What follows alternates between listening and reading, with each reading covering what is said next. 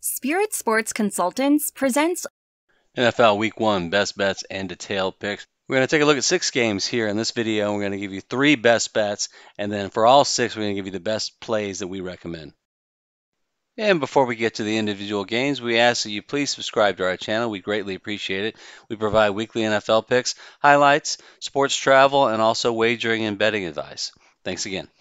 NFL Week 1 best bets and game picks. These are the games we've identified two weeks out. We feel good about. We're going to do this as part one of three. For this section, we like the Cowboys, Giants, Cardinals, Commanders, Packers, Bears, Titans, Saints, Texans, Ravens, and the Bucs at the Vikings. We'll be talking about those and we'll be giving you our score prediction and also those we've identified as best bets for this week. Let's start things off with our first best bet, and that's the Cowboys at the Giants. Even as a road favorite, which we typically avoid, we see several advantages for Dallas in this game.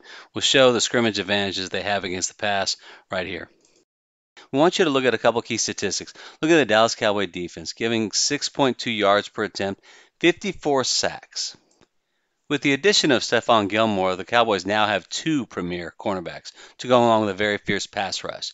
And then on offense, adding Brandin Cooks gives them that 1 2 wide receiver option to go along with CeeDee Lamb. So we think the Cowboys are going to be explosive this year, and we know there are a lot of Cowboy haters out there, but in this game we like Dallas 24-17.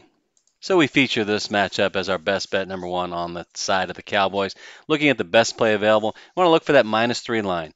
And if that's not available, you can't buy down to three, take the money line. You don't want to get stuck with that three and a half, four point line because that's a definite advantage for the dog.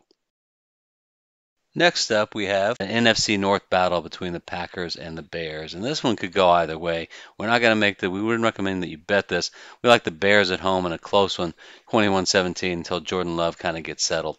And in our next game, we've got the Titans on the road against the Saints. We feel that the Saints are going to be an explosive team this year with Derek Carr coming in. You got receivers Michael Thomas, Chris Olave, Alvin Kamara once he comes back. We feature this one as our best bet too. Like the Saints by 10. Best play Saints minus three. We will make a pick on this next game, the Bucs at the Vikings. We caution against a wager on this one because too much is unsettled early on in the season. But we'll go with Minnesota 21-17. The line is currently Minnesota minus seven. We think the Vikings are just a little bit overrated, having lost Dalvin Cook and Adam Thielen. W- remains to be seen how good they are offensively this season. Next, we have Arizona at Washington. We're going to take Washington here, 27-13. We like Sam Howell. I think he's got great potential. Love the receivers, love the running back, and phenomenal defense.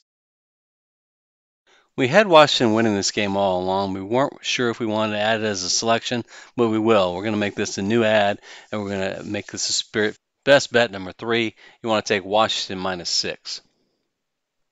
This next game bothers me a little bit as a Texans fan. Texans going on the road to face Baltimore Ravens. Vastly improved Texans team, but you got to like Baltimore here.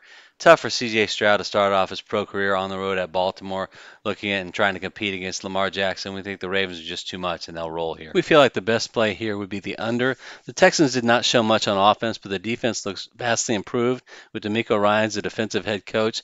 And also, we feel like they're going to run the ball with Dameon Pierce to try to control the clock. So for our first batch of games, the best bets we've identified, the Saints minus three against the Titans. We love the Saints pass offense, and the Titans pass defense was in the bottom five last year. Big advantage for the Saints. Cowboys similarly with their pass defense, they should be able to really harass Daniel Jones to give him fits and make them rely on the running game. We also think they're going to be a more explosive pass offense themselves.